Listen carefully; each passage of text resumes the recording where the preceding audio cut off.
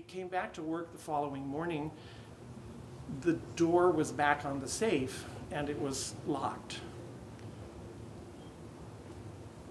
No one knows how that happened.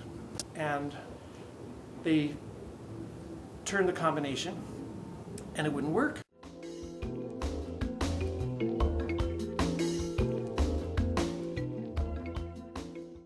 And there was an old brother who, just as a joke, said, You remember during the glory days of football, there were only two people that had the combination to the safe. One was the president, Brother Albert, and the other was Slip Madigan. And so they went into the archives and they found in Brother Albert's papers the combination to the safe. And so they tried that one and that opened the door.